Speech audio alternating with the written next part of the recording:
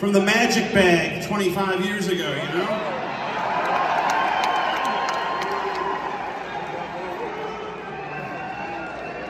2003, we put out a record called Blues Deluxe. Thank you. And it turned out to be my first number one uh, Billboard blues album in my career. And at the time, given the state of affairs in the old uh, Joe B camp, um, looked like it was going to be the only one because it didn't seem like we were going to be able to make another record at the time. And um, every record company, from small to large, had passed on me. Look at me now, fuckers. Anyway.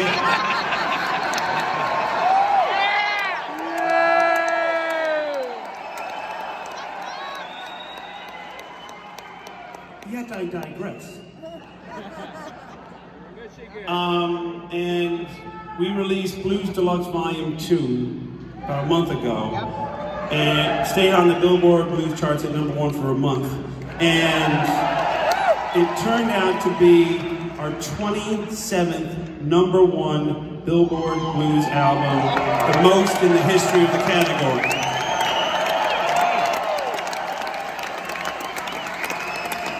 So, I've been going around the country this fall thanking everyone because it's all about perspective in the, in the scheme of 20 years. And I never thought I'd get to this stage. I never thought I'd be able to stay on this stage. And I never thought I'd get to 27 number ones. And I owe it solely to you guys for supporting me over the years. So, thank you, Detroit. Thank you, everyone, for coming out. We got one more song.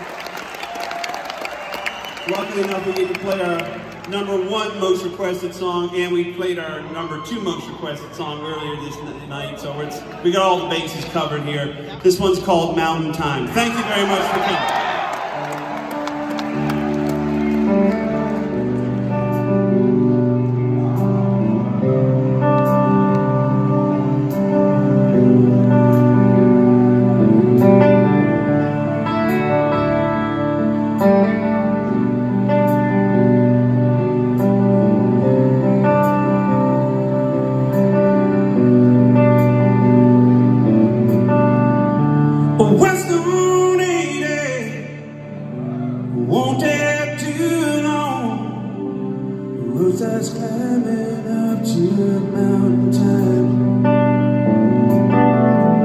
The cool